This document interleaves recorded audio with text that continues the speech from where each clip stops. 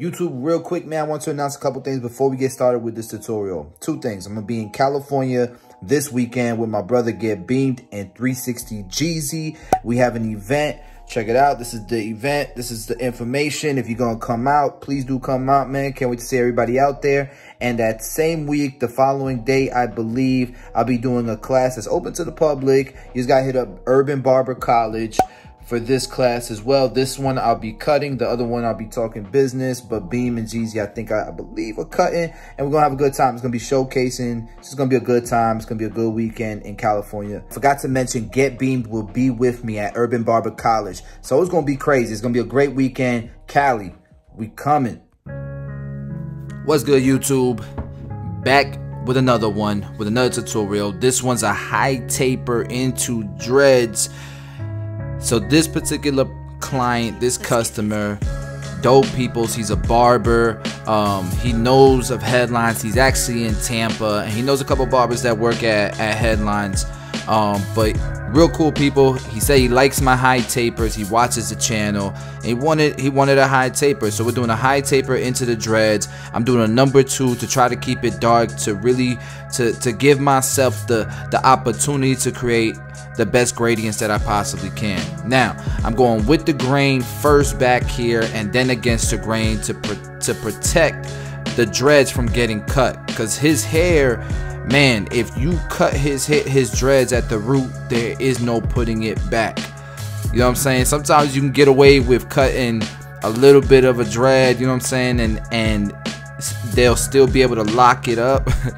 but with his texture of hair, if you cut those dreads anywhere near the root, it's over. So we really are using our thumbs, doing everything that we can, taking our time, paying attention, making sure that we're we're not cutting anything we, we're not supposed to be cutting. So we made sure we, we lowered it around the ear as well so that when we put that line on them, it's really crispy. Now we'll start to put in our first guideline with the trimmers followed by the shaver.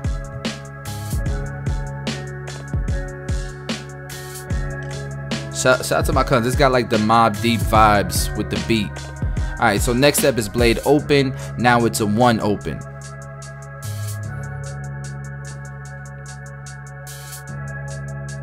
So we started off with a number two. So this one and a half guard should really take out that line that we created with the number one guard open.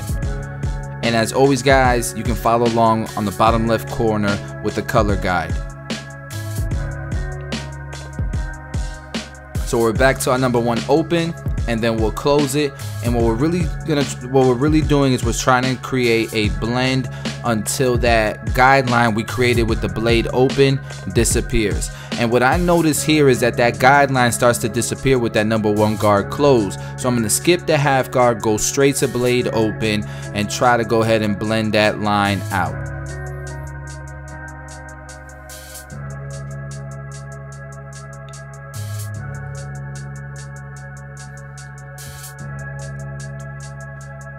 And the clipper I'm using is the Babyliss Custom FX. Wait till you guys see the new joints I got. I got some new custom FXs. They fire. Can't wait to show them. Next video, I'll show them to you guys. I think.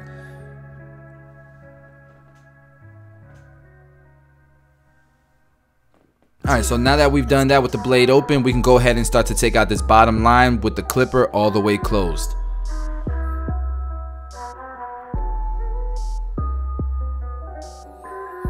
Now, if you're having a hard time taking out that bottom line, just grab the trimmers and use the corners. Go up about a quarter of an inch to take out that line.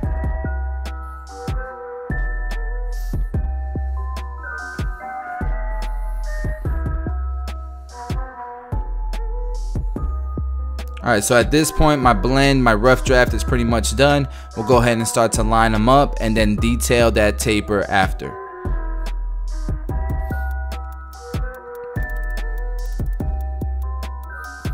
So I'm cleaning his skin. I'm getting rid of it, rid of any dead skin because the color is supposed to dye skin. It's supposed to stain the skin to add some density to the hairline. So you don't want to apply the color on skin that's going to come off because then the color is going to come off. So we make we made sure that our canvas was nice and clean. We got a nice fresh layer of skin and um, will start to blend into the color to really make it look natural and flow into the taper.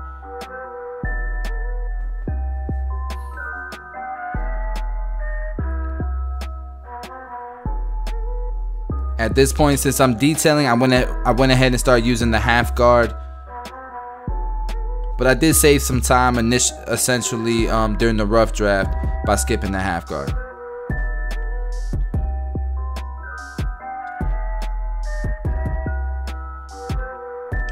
But yeah, the tape is starting to come out. It's starting to look pretty blurry to me.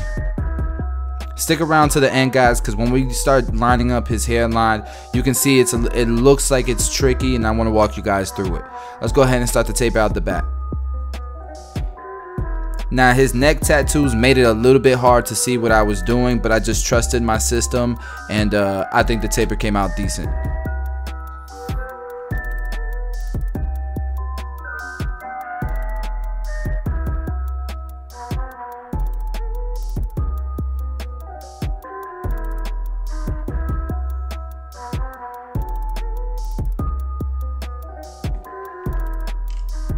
All right so we're using the one and a half guard. Pretty much you know what? I'm not even gonna explain it. This is i'm using the same steps that i did on the first side on the side taper there using the same steps. So one and a half guard will blend out that number two to that one open. Now i got my one close. I'm gonna skip the half guard. I'll let you guys follow along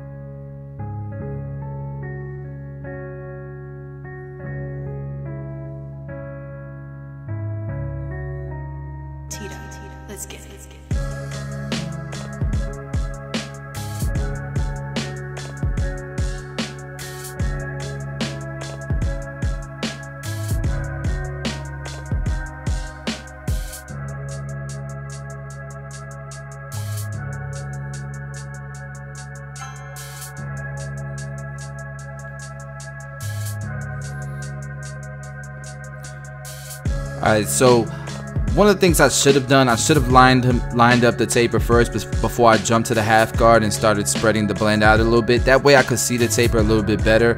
But nonetheless, that's we're, we were in our detail phase, knocking out the bottom line with the trimmer. Although I didn't really see a line, um, I trusted the system. And this is one of my favorite parts when it comes to a haircut.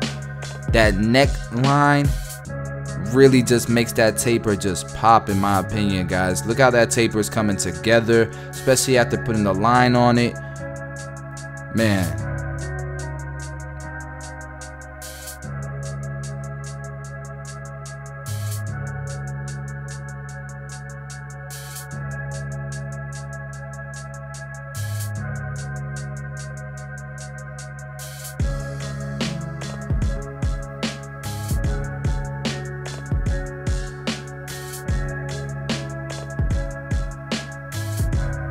So you one of you guys notice that I walked that trimmer all the way to the corner to the corner because I, I don't want any C cup. I want to make sure it's nice and bald. To me, that's what makes a high taper stand out so much more. If you can get any type of shadow at the bottom, any type of hair stubble at the bottom, especially around the peak of the C cup, which is the highest point of the C cup, which is like, you know, where the sideburn to I don't even know. I, I would need like a, a laser pointer for you guys to show you exactly where it's at.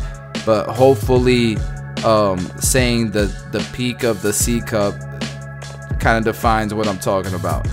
Um, but getting that hair stubble, any little shadowiness out, and getting it really, really tight makes that taper stand out. Now, this side was a little bit more difficult because you can see how the hair just kind of it grows to a, a slant, and I'm, I got to turn my clipper to this angle um, in order to get get that blend to go in. And, and what happens is all this hair is growing in the same direction towards the back of the ear or towards the connection of the ear. And it's making it almost like bunch bunch up. So it looks really dark behind the ear. So if you notice I'm going in with my corners and really trying to lighten it up behind the ear.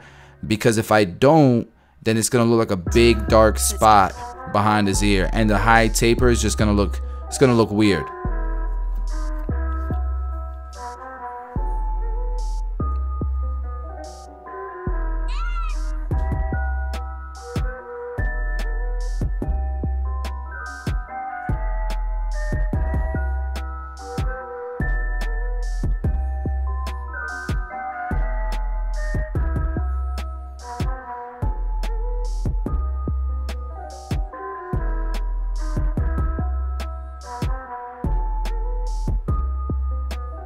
Keeping it natural, keeping it natural. Now, lining it up back here was hard because of his neck tattoo, so the line's just not gonna stand out. The the the lineup is not gonna be as sharp as the other side, and not much you could do about it. But what I'm trying to do here is make sure that I can get it to stand out as much as possible so that it doesn't look uneven with the other side. And even like the the gradients, the actual blend looks a little bit weird but again, there's not, mu not much you can do because the tattoo's making it look darker.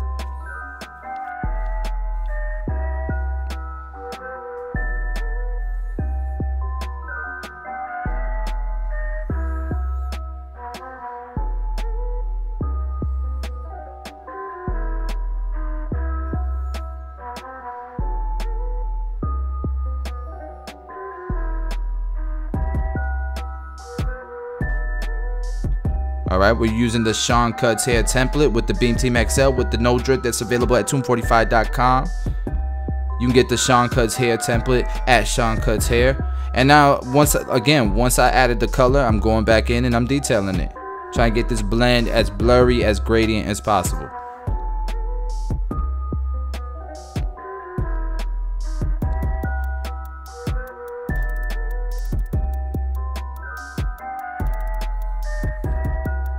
Oh, and I wanted to make oh, uh, and I wanted to make another announcement now that I'm touching up everything with the razor. Of course, the razor makes the lineup pop even more. But um, we have an event in Spain. David Falla will be out there representing Tomb45.com. If y'all know who David Falla is, check out his YouTube channel. Um, he's well known, you know, I feel like on YouTube but if you don't know who he is, check out his channel, David Falla. Um, but we'll have a we'll we'll be out there representing Tomb 45 in Spain. So that's super exciting that we're expanding overseas, man. We're now being carried in in the UK, in Greece, and in Spain. All right, so we're gonna enhance the back taper here and and behind the ear. Man, it's just making it pop so much more. It, it was already popping, guys. It was already great. I feel like it was already looking good, but that color just makes it stand out even more. And one of the things I've been doing lately, guys, is de detailing with either my seniors or detailing with my masters. And I've mentioned this before, but I've been enjoying detailing with a different clipper. Okay, so real quick, guys. So I'm going with the grain here um, because he has cowlicks in the front. You can't really see him because his dreads, because he has dreads. But what's happening is hair from his cowlicks in the front hairline that want to grow up are they're there with his dreads. And then hair that wants to go down, it's almost like a little island in the middle of his hairline. I'm not gonna push his hairline back. I'm gonna use the corners that I already lined up and just kind of bridge them together in the middle. Whether I see hair or not, I'm going to imagine that there is and go straight across. And what you'll find is you'll get a subtle line. You know what I'm saying? He does have some scalp exposure because of his um, cowlick and the dreads pulling hair, you know, separating it. But I think that's the best way to attack his hairline, not pushing it back. All right, let's get this uh, goatee going. For me, one of the most important parts with goatees is just making sure that each one of his bars that are connecting his chin hair to his mustache um, that each one of those are kind of parallel with one another. You don't want one slanting more than the other, and you don't want one being skinnier than the other. Now, I get it, some people, they don't have the same, um, like, you know, one side might have more hair than the other, but you gotta do your best to try to balance it so it doesn't look off. Um, and then, you know, with the mustache on the top, I don't really do too much with the trimmer as far as shape. I do that with the razor, and you'll see what I'm talking about. So I cleared some bulk above the mustache, but the shape and the sharpness I'm gonna I'm gonna create using my razor handle.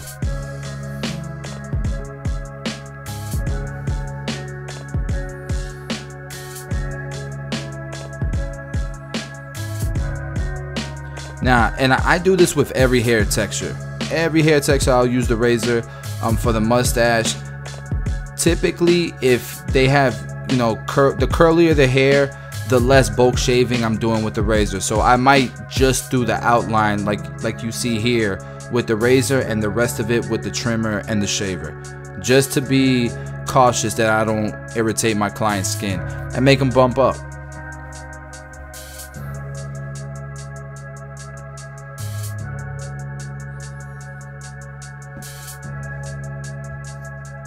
So this is the cut guys. You guys can see the taper came together. To me it looks it looks good. We got his goatee in there. We shaved his face. Um finish it off with some aftershave, all that good stuff. And the neck taper, for what it's worth, man, with the tattoo on one side, I think it looks pretty balanced. It looks pretty blurry. And uh, I think the cut just came together nice, man. If you're new to the channel, please do subscribe, smash the like button, and comment below what you thought about the cut, man. Yo, YouTube, YouTube, hold on. Let's answer some questions, man. There's something I might be doing on these videos just to make this more interactive with you guys and be able to give you guys some extra bonus nuggets. What I'm going to start doing is going to my last video and answering some of these questions since it's really, really hard to answer everybody. Bossio, don't stop dropping videos every day. Keep them coming. I've been trying. I've been trying to get more models and more models so I can record content. It's been really hard, but I have been traveling, guys. So just this past week, I was in Atlanta. I was in New York City, and I've been tra traveling like crazy. I had guests down from Dallas, but I'm gonna do my best to keep rolling with the content. I don't care if it's product um, product reviews. I don't care if it's vlogs or if it's YouTube tutorials. We're gonna keep pumping. It's road to 500k, guys. What's the difference between Tomb 45 Online Academy and the new Tomb 45 Foundations online course? So I was inspired to do the Foundations course because it's foundations. I, I was inspired because there was an issue going on where we were all like the barber industry as a whole were debating the whole um, relationship between barbers and barber schools. And a lot of people complaining about barber schools and feeling like they're not getting enough information there. So I want to create some type of curriculum that would help someone have a strong foundation for their barbering career. It covers um, shear work, it covers the whys, the hows, it covers clipper work and fading, and also covers financing and making finances and making this a career. The online academy is kind of like the continued education for barbers. It's recurring, it's a monthly subscription, and um, we do your haircuts, my feedback, but I also do longer 30 minutes or longer um, tutorials. Um, a lot of them are like the YouTube tutorials, except way deeper, way more um, in depth, I feel like. Now, this ain't a question, but I wanted to show you guys. He said, this year I decided to leave my 9 to 5 and pursue my dream of barbering. Appreciate the vision, Bossio. Did the same about two months ago. Scary as hell, but I don't regret it for a bit. Best of luck, my man. Another person said, same for me. Left my career of highway construction. Decided to make the plunge into barbering. Best of luck to you. How dope is that? Like you got one guy who commented, you know, he's making his his jump. You got another guy following up, wishing him the best of luck, and also giving him more confidence, saying, I, I went through it too, bro, and I don't regret it for a second. And another guy follows up and he says, Man, best of luck. I'm gonna do the same thing. Yo, I'm loving where the barber industry is going. We're getting some amazing people to become a part of it, and I wish you guys the most success. Are the power, power clips ever coming to shavers? So the power clips are an adapter that hook up to your shaver, clipper, or trimmer to allow them to um, charge wirelessly. Yes, they are coming. The first ones that they're coming to are the Babyliss shavers. So that's it for this session of Q&A. I'm going to continue to do these at the end of most of my videos. If you guys like this idea, let me know in the comments. If you have a question and you hope to have your comments read on my next video, do comment below, man. Ask some questions and uh, love you guys. Appreciate y'all. See you on the next video.